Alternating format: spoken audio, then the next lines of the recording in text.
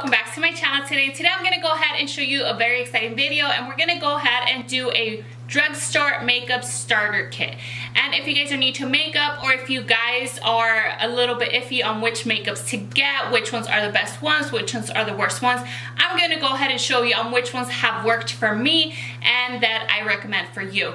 So if you guys are new to my channel, don't forget to hit that subscribe button down below and hit the notification bell just to get notified whenever I get new videos up on my channel. So if you guys haven't followed me yet, go ahead and follow me on Yesi Davila 1 on Instagram and on Facebook and let's go ahead and begin. So I'm gonna go ahead and show you a starter kit that you could get at your local drugstore. It's basically the best of the best products that I have tried that worked for me. I do have dry to sensitive acne prone skin. If you guys are oily, these products also work for you. The top mm-hmm. items that you guys are able to use even if you are oily.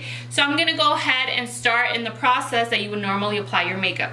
So go ahead and begin. So we're first gonna start off with primer and the reason why you need a primer is basically to make your makeup last longer and just to prevent your makeup from sliding off. So if you guys have dry to normal skin, I highly recommend the NYX Angel Veil, which is one of my go-to. And I use this just to kind of smooth out my skin and just make it ready for foundation so the foundation doesn't sink into my wrinkles or pores or anything like that. If you guys are more on the oily side, I do recommend the Neutrogena Shine Control. I used to use this when my face was really oily. So this is what I used to use back then. Now I just use the NYX Angel Veil and that's kind of what's been working for me since my skin is a little bit more on the dry combination side. Oily, go ahead and check out the Neutrogena one. Works really, really good. You would just apply this on your T-zone or wherever you get oily and then this helps really good to minimize the look of pores. So this just controls your oiliness and this actually smooths out your skin. So both of them as a combination when you guys do have oily skin work out really, really good.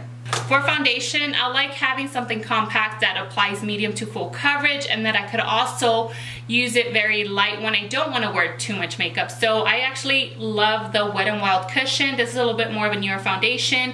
And this one helps. It does have a little sponge. This one helps when I'm on the go or I don't have time to apply makeup or any glass containers. Like I said, this is a very affordable makeup. They come in variety of shades and I actually um, have that in classic ivory, but normally it gives you light to medium coverage. But as you can see, that's what I have on my face right now. I applied just one even layer and it just made all my breakouts and everything just kind of go away on this one. If you guys do want to do full coverage, you would just apply a second layer. So I like it because it's very versatile. It doesn't make you look cakey or dry or anything like that. If you guys do have oily skin, I do recommend to set this foundation. For actually setting powder, I love using the Maybelline Fit Me Loose Powder. It does get messy, but it just applies on the skin very beautifully and it just gives you a nice airbrush look which is what I use on my skin as you can see it is very airbrush very smooth and obviously you cannot apply filters when you're filming so this is literally live so on this one I do have it in fair they do have a variety of colors it does come with the little as you can see, you just apply it on the cap and then just apply. I use this to set my makeup, to carve out my contour, and just to set my foundation. So I use it for everything. Normally I would have three different powders just to set my foundation. But like I said, for full coverage, I just use two layers of this and then I just set it with my Maybelline Fit Me Loose powder and it just gives me the most flawless full coverage finish without making me look cakey and I don't even have to touch up the makeup. And sometimes if you guys do smear, since my eyes do get watery, you apply this over it when your makeup gets smeared and you can't even tell that your eyes got watery or anything like that. So I love how you can fix your makeup with it and actually just apply it and it just works very beautifully. For correcting, I love the Rimmel Dark Circle Redness and Dullness Corrector. It's the Insta Conceal and Correct. It looks something like this. It is very creamy, very pigmented, and as you can see, this one gives you, like that's just one swipe. How crazy is that? So you basically just use this one. As you can see, it's actually labeled, but this one helps to conceal dark circles. This one I use for like pimples and this one's kind of when I have any like shadowing on my face. It comes with a cute little mirror and it's very affordable, under five bucks. And it works awesome. Like I used to carry different um, correctors with me and it just wasn't travel friendly and it was just take up a lot of space. This little palette works amazing. For concealer, I love to use a Maybelline Fit Me concealer. This has been my like go-to concealer. It's very easy to blend and you could actually layer if you guys want more full coverage but on easy days these this one is amazing. I wanted to get products that you could use when you wanted light to medium coverage or when you actually want wanted full coverage. So all these items that I'm actually showing you, you're able to layer them to apply it when you guys want full coverage like on a wedding or if you guys are coming out on a huge event or just want to look nice in pictures you guys are able to layer all these products and make it look flawlessly. Or if you guys just have to go to the grocery store or have a picnic or something to go to or go to the beach and you guys still want to have a decent looking appearance, then you guys are able to use all these items and just apply a one layer of it and you guys will still look very flawlessly. So this concealer, I have mine in Ivory, which they did come out with the lighter shade and darker shade, so which is awesome. So you guys are able to get a variety of colors and I also use this for contouring. I do have a darker shade and I use that to cream contour. And like I said, they're compact, they're affordable, and they're easy to blend. For bronzer, I love using the True Match Lumi Bronze It. They do have different shades of this and it's very buttery. Obviously, it's huge. I use this to contour uh, my body or if I need, um, it's not too warm, it doesn't have sparkles, and it just applies the makeup so beautifully. It doesn't look chalky, or if you guys want to start into bronzing and don't want to start with blush, normally you could just apply your foundation, your powder, and then just use bronzer. A lot of people I know, and I sometimes even use just bronzer instead of blush because sometimes it's just easier and it's just less steps you gotta do. So this is a really good bronzer. I got this in a light, and I believe they have two or three more shades of this. It's very creamy. It's a huge pan, very affordable, and the color is very, very good. I love using the, the Milani Baked there's it's not too pink, it's not too peach. So if you guys are just starting off, you want to get more of a peachy tone blush just to kind of start off and not get too crazy with blush. A lot of the times, a lot of people go with the hot pink blush, and sometimes you want more of a natural, more glowy skin. That one gives you a very flawless finish. It's what I use right now, and it's my go-to drugstore blush, and it's with the brand called Milani. And for highlight, obviously, nowadays, if you don't have highlight, like I don't know where you guys been because highlight right now is the thing. The more highlight, the better. So my favorite one is a Maybelline Master Chrome. This is the Molten Rose Gold. For my particular complexion, I like the rose gold better on me than the actual gold. If you guys are more of an olive tone, then I would recommend the gold. This is more of a rosy highlight for me. This color stands out a little bit better on my skin and it's what I currently have right now on my actual face and this is what it looks like. Just gives you a nice beautiful beautiful uh, pink color or not pink color but like a very highlighted look on your cheeks without looking chalky. It's very buttery and it just makes it look very very smooth. I have two different options. If you guys are starting off the best one that I have tried that doesn't clump up or doesn't um, smear all over your face it's a Wet n Wild Mega Mega Liner. This is a regular one. This is not the actual waterproof one because I know the waterproof one has a different brush. This one, as you can see, it's very flexible, very thin at the end, so it helps you create the most beautiful wing. And this one doesn't irritate my eyes, doesn't make them um, watery or anything like that. So it works, there you go. It works really, really good and it just applies very beautifully and it does dry a little matte, not too much. I notice sometimes with the matte liners for me, I sometimes I like them, sometimes I don't. This is a basic, not too glossy, not too matte. So this is like the perfect little um, eyeliner that you guys could use. I'm comfortable with the actual liquid liner. I do have this one, which is my go-to, which I actually kind of lost the lid, but this is a Rimmel Wonder Ombre holographic eyeliner and it works really beautifully. And I love the fact that if you guys want more of a smoky, you guys could use this like dark purplish black color instead of using too harsh.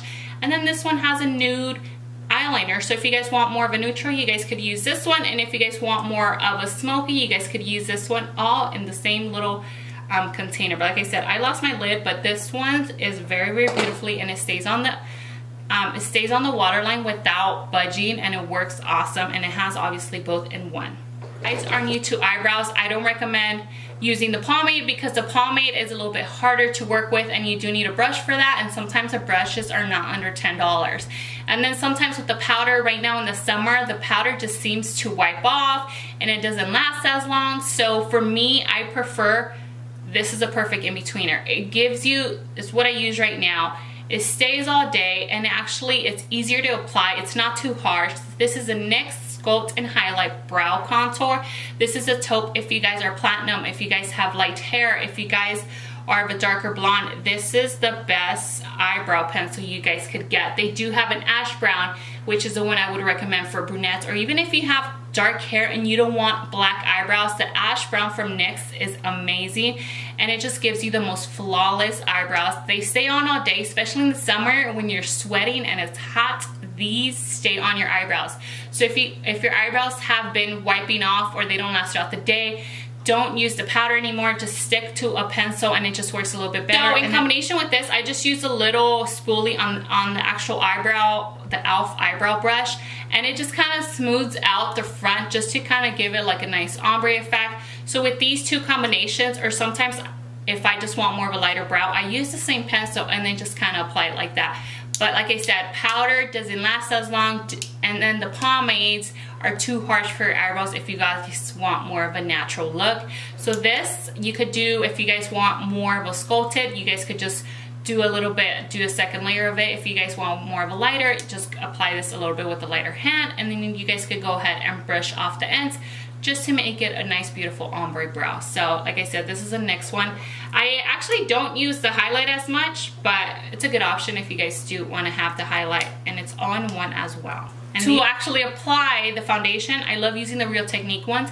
These are some of the limited edition ones that they do have, but normally it is they're normally orange all the way around, but this one has a flat side and then a pointy side to apply the concealer. A lot of people um, don't wet these and then wonder why their makeup doesn't apply beautifully. So normally I would recommend just to wet them a few times underneath the faucet and then squeeze them out and then apply water a little bit more, squeeze it out, and then when it's semi-damp, then that's when you would actually apply foundation. And then instead of rubbing it, you would just bounce it all around the face just to give you a nice airbrush effect instead of using brushes because brushes seem to give you a very streaky look and it just doesn't apply as much coverage. This one applies coverage, so if you guys are beginners, I recommend applying your makeup with a sponge instead of a brush. Lashes, it's not a necessity for a starter kit, but if you guys sometimes want a little bit more of a glam look, I do love the Eylure London Definition number 126. These are my go-to lash the band is not too thick, not too thin, which are easy easily workable. And these is actually like a little starter kit. It comes with the little tweezers to hold onto the actual eyelash when you guys are applying them and then this comes with the glue so it's basically all in one that you guys are actually able to use. And you guys just get this under five bucks and you guys are able to re reuse these. These are the ones I have right now and they actually last. This is probably like my third time wearing these and they're still holding on strong. So Eylure the number 126 on my go-to favorite drugstore um, lashes. So for palettes, um, I they do have a lot of drugstore palettes. Um, normally with eyeshadows, I do tend to go a little bit on a little bit more of a pricier end because a lot of them are very chalky. So I rather have one good palette than to have five small ones. So in my end, I ended up going with, I recommend going with the Makeup Revolution Sophie X. This one of their oldest palette but I actually love it. It comes with a variety, like this section is neutral and this has a pop of color and they're very buttery is what I use right now. I've been using it. It's One, it has a huge mirror and two, it's under $10 and it's very affordable. You could get yours at Ulta or you could get them online or on Amazon and they have awesome beautiful lid colors beautiful transition colors they have mattes shimmers they have dramatic they have neutrals this just has everything in one Eyeshadow's not a necessity, but sometimes when you do want to glam it up, you do need a little bit of color on your lid just to give you a little bit more of a glamorous look. This one, like I said, has on one. It's under $10. It's one compact. So if you guys want to build a kit, you don't want to have like 10 different little pods or different eyeshadow palettes. This just has everything you guys need. Like I said, it has your neutrals, your mattes, your shimmers, your highlights. Sometimes I even use this pink one as a highlighter and then sometimes I use these brown ones as like my contouring or like even your eyebrows. Sometimes when I travel, I'll go ahead and show you a separate travel pack, like a tra separate travel makeup bag that I use I'll show you, you can use these for your eyebrows. I use this for my highlighter sometimes. I use it for my transition, for my lower lash line, for my eyebrows. Like I use this palette for everything and I've been using it for the past few months and I have not made a dent. They're very buttery so it's easier to work with, especially when you're a beginner. It just basically helps you blend out your makeup on its own without having to put too much work into it. So if you guys are starter, I recommend that palette. It has everything you would need to start with eyeshadow if you guys are new to eyeshadow as well. I do have a variety of them, depends on what your style is. If you guys want more of a long lasting, um, I love the, what are they called? The Wet n Wild Mega Last Liquid Catsuits. These are my favorite. I have these in every color, especially in like red and all that. So this is a very neutral color, which is currently what I have right now. It's actually picking up a little bit orange, but it's very neutral on me. And this is a shade Nudist Peach. So if you guys are a little bit on the lighter, this is like the perfect nude. If you guys are darker, it will still work for you. So this is good for light to medium skin tones and it's very, it doesn't have, this is one of the few liquid lipsticks on the drugstore that do not have a weird smell. It actually smells kind of like candy.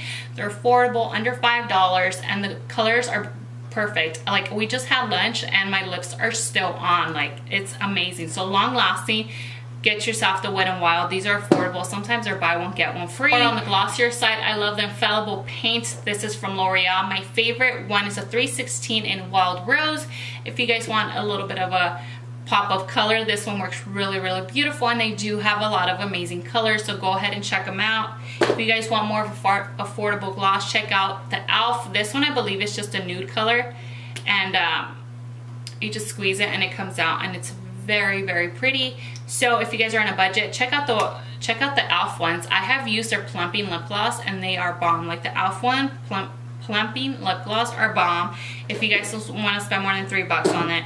These are a little bit more, this is probably out of these three, it's probably a little bit this is the most expensive one. This is if you guys are on the go and don't want lipstick, but I still want a little bit of color. I recommend this for like easy on the go to apply. These are a little bit longer lasting and they're a little bit more affordable. This is a little bit more pricier. But if you guys want more of a gloss, this is basically a gloss and lip gloss and gloss and lipstick in one.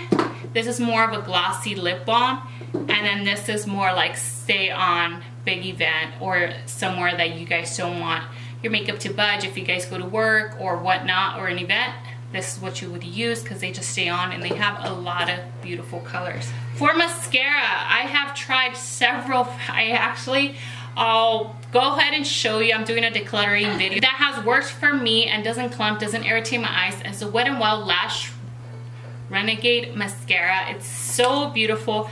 One, the packaging is amazing and it's one of the blackest blacks and I love because the actual brush is more of a rubber tip I use the ends to get like inside like the inner portion of my actual lashes because they're so tiny and they just don't blend.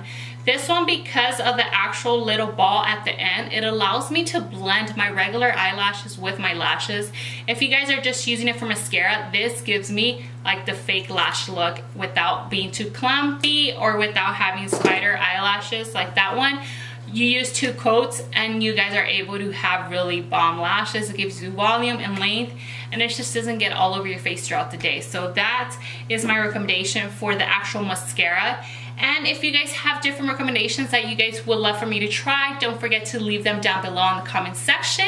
And I hope you guys like these type of videos. Don't forget to comment down below, subscribe to my channel, and follow me on social media, Yesi Davila1 on Instagram and on Facebook. And I'll see you guys in my next video. Bye.